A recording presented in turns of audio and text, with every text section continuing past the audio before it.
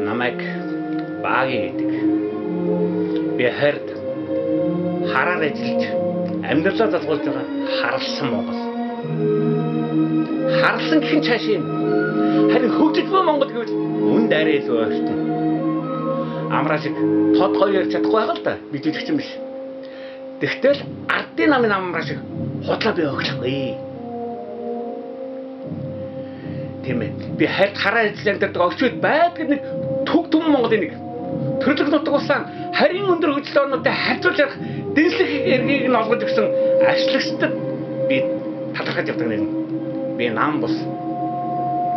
Гэхдээ би арчсан үзэлтэй ажлыг дэмждэг нэг хэдэж би арчсан улсуудын барьцаан болсон биш. Ховд тулс анхны зүгт авч би мэдээгүй. Задууч соёлын өмнөх болсон хойцлаад нь ч очижээгүй.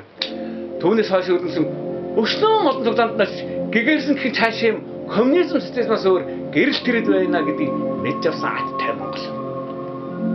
Би аимхаа Монгол. Арчсан хувьсгалын тэр олон цагдаанд очив энэ Монгол ардын хувьсгал намын хурц сонор саргаанаас айж ганц зүг ган хийлгүй гагтгүй чээ дэлгэлийн лакад аргаж олны маргаа мэтгэлийн дундаас ихийг сонсож багуу гарч авсан аттай Монгол.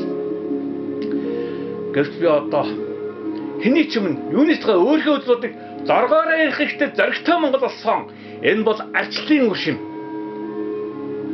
Над одоо бүх юм байгаа. Ун хунаа, ор хорон, ойч хаяр, өмнөх улсаас илүү над эргчлээ байгаа. Над үг хэлэх хэрэгчлээ байгаа.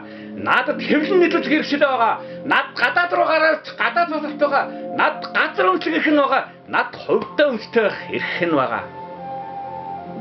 Цааш нь тоос барагдахгүй бол ирэх үе. Энэ бүхэрхийг над болгосон арчлын